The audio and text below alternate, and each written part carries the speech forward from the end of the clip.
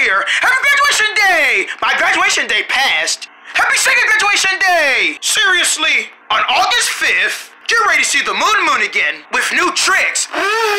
He's sucking in air. Oh, I ain't something strange. New party moves.